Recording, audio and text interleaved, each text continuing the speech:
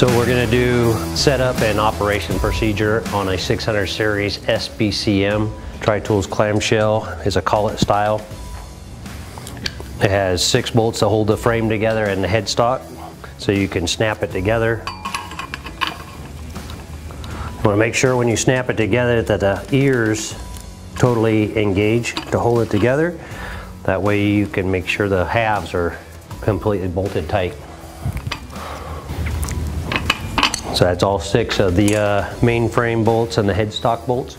Take our collet for the back nut.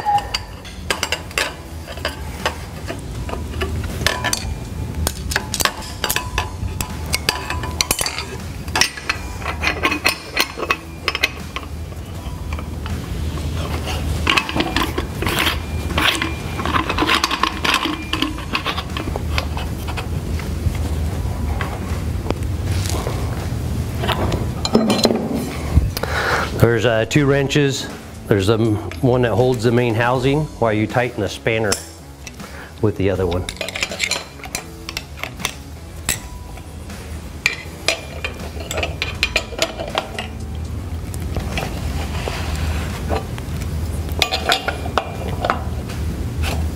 Snug that up. We're also going to go over the tool block adjustment.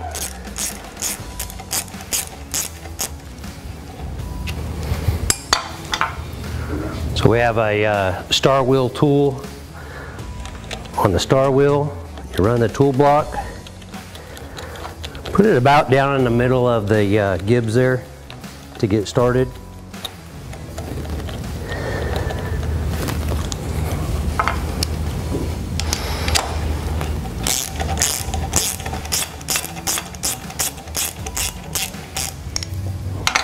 Move this around so it's easier to see. So it's got two adjustment screws in the sides right here.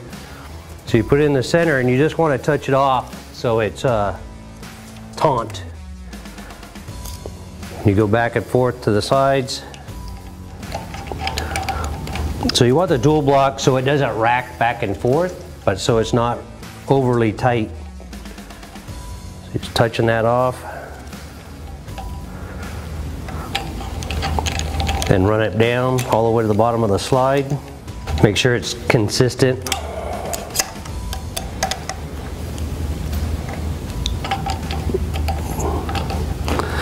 You always want to bring the tool block up as you take out the backlash in the threads and then always remember to time the star wheel so the points are at 6 and 12.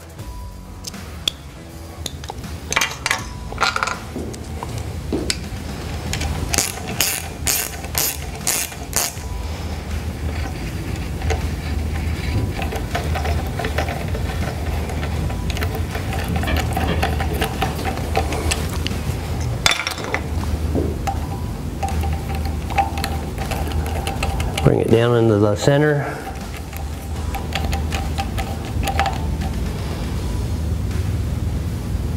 Time it.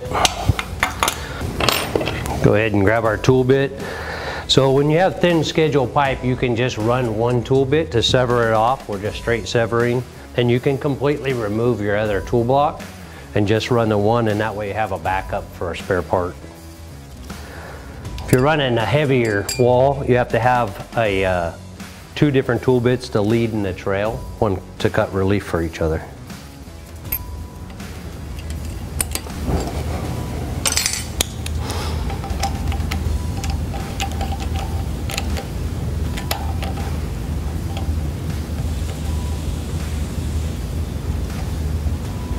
Time on the star wheel.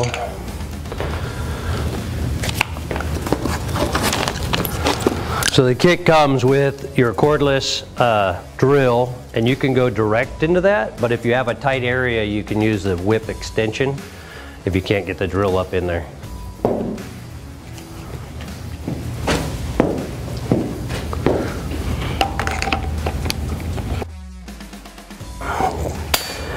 Tripper pins disengaged. Engaged.